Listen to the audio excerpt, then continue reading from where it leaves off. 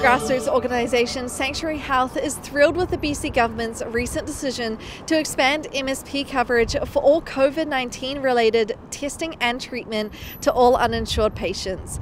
This means that temporary foreign workers and international students will now be able to access that care covered by the province, not just for their own sake, but for the safety of the entire community.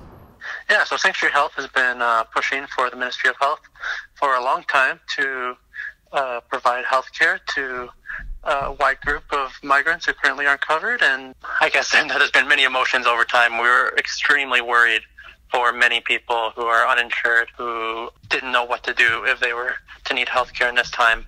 And so there was initial sense of confusion about what this means and will people have care.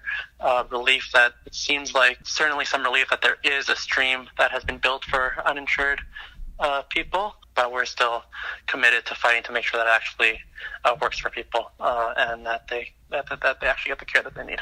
They've also waived the three month wait period for MSP in British Columbia, ensuring that people who have just arrived in the country or who have been here for less than three months are able to get immediate access to COVID 19 related healthcare assistance. That's something that we've been calling for for a long time is to eliminate the three month wait period. And uh, it looks like for as long as the province considers this a crisis, uh, they will uh, waive the three month wait period and provide people care upon arrival. And we hope that continues. And we will push for that to continue beyond the current crisis because we don't think it's a good policy. They hope it will continue to open up a conversation about healthcare rights for all people living in Canada. For Castanet News in Kelowna, I'm Laura Brooks.